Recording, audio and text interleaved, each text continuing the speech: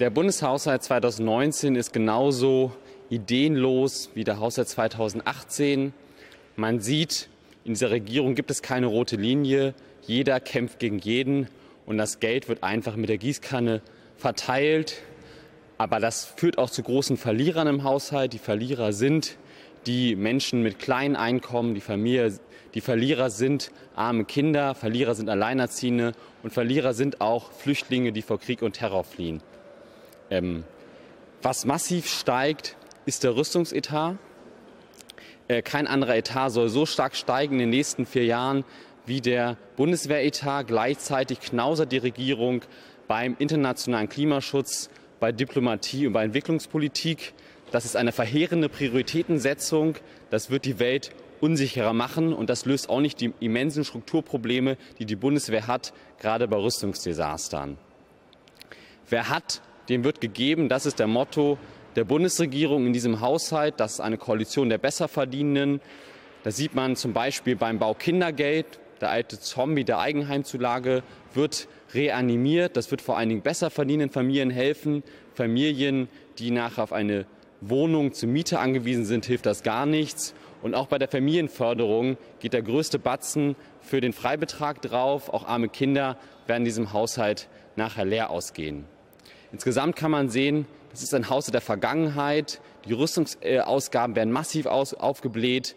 Ähm, es gibt Subventionen für Besserverdienende und äh, beim Klima gibt es ein großes Schweigekartell.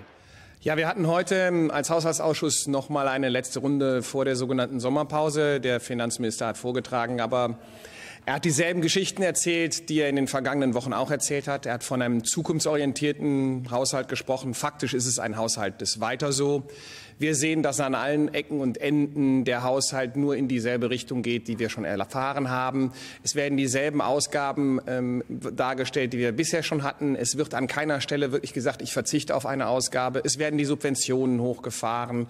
Es werden sogar, und das muss man sagen, Subventionen wie im Bau Kindergeld, die inzwischen mit über einer halben Milliarde anstehen, dann auch noch als Investitionen verkauft. Und so wird versucht, die Investitionsmittel nach oben zu ziehen. Faktisch ist das ein Haushalt, der versucht, das Haus Deutschland ein wenig zu renovieren, faktisch aber nur die Flicken ein wenig äh, zu reparieren. Es ist keine Modernisierung.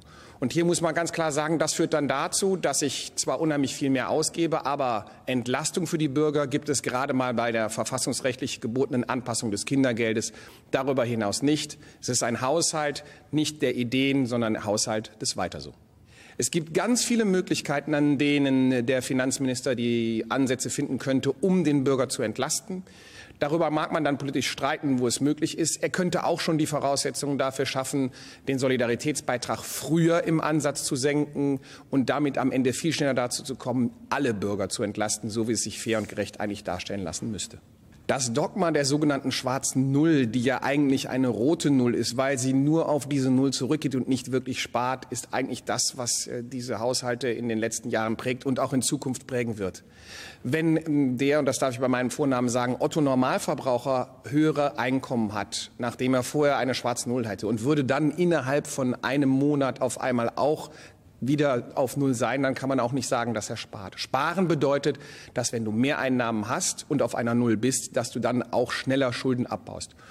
Und es war auch sehr interessant, dass der Finanzminister im Haushaltsausschuss bei den Zinsen uns jedenfalls schon ein wenig darauf hingewiesen hat, dass er ungefähr in einem Volumen von 2,5 Milliarden dreht, weil er von einem gewissen Zinsrisiko ausgeht.